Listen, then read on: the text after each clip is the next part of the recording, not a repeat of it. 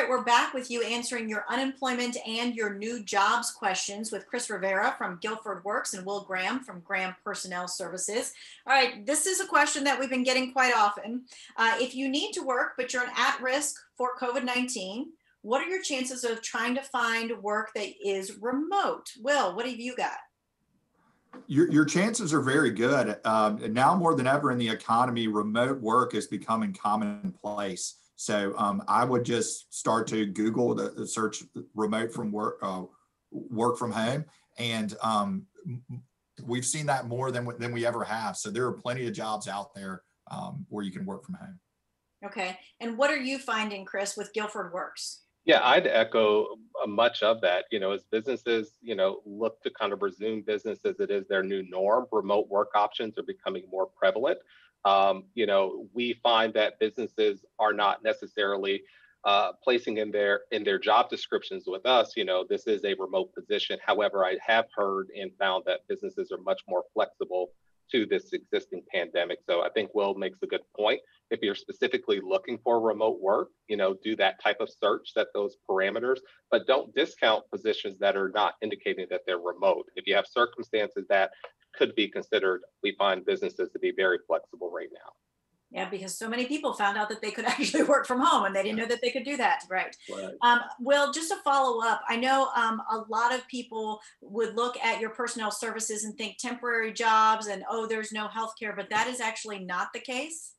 Yes, yes, that's a big misunderstanding. Um, so we offer uh, health and medical insurance. We have a full major medical plan as well as a, a basic medical plan, depending on uh, your needs of your family, et cetera. We also also offer dental and life insurance, short-term disability, and we have a 401k company match. So really, really, when you think of staffing firms, I, I think the the temporary uh, that that temporary name gets thrown in there too much uh, of these 400 jobs that, that I've listed with you, Tanya, about 375 of them are what we call temp to full time, where you're, you're going to work with us for 90 days. We, we are helping our customers find the talent and then they hire them on full time as, a, as one of their employees. It's good to know it's different than what we probably all grew up with hearing when it comes to it is it is it's it's evolved it really has over the last 10 10 to 15 years Chris, this person says, how do you apply for federal unemployment? There is a starting point.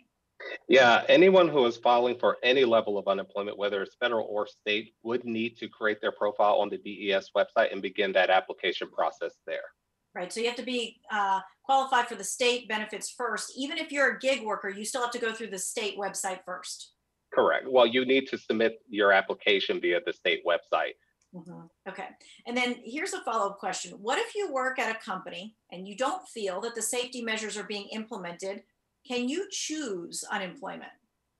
Um, no, that's that's subjective. Um, you know, everyone has to feel comfortable and you know be willing to take that risk to go into work. But if an individual chooses not to go to work because they're not comfortable, does not you know necessarily make them eligible so you can choose not to and you can apply, but the likelihood of you being approved or deemed eligible is mm-hmm. extremely low.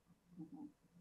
Uh, so this person is asking, are more companies looking for part-time workers or full-time workers? Well, uh, the, the majority of the positions in the United States are full-time, so at least 32 hours or more. However, companies right now, especially over the last nine months, are being as flexible as they can to accommodate the needs of, of just all around good workers, workers who are reliable and things like that. So, so while the majority of jobs in the United States are full time, there are plenty of part time jobs out there. Also, the gig economy, right? You know, really the gig economy's come in over the last five to 10 years, and we're going to see that reshape um, how work is done as well.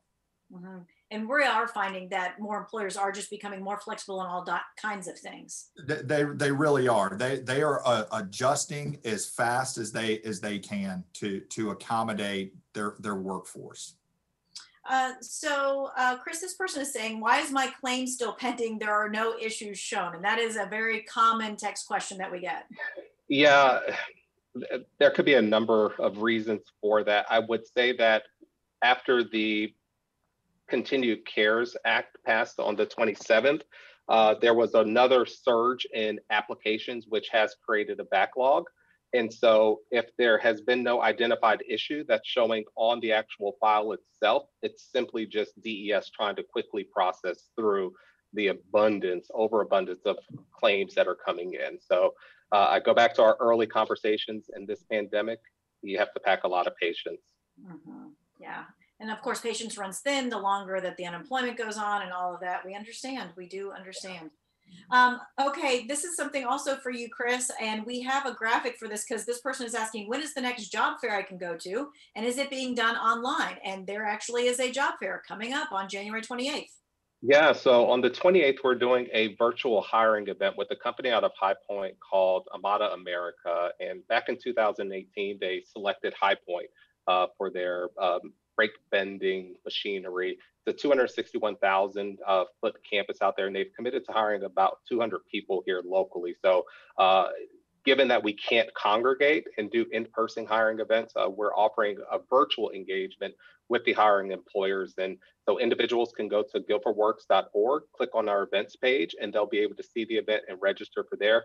Excellent wages, you know, in excess of $15, $16 an hour. So uh, individuals, as well mentioned earlier, manufacturing is soaring right now. This is an amazing company, state-of-the-art facility. Check out the event.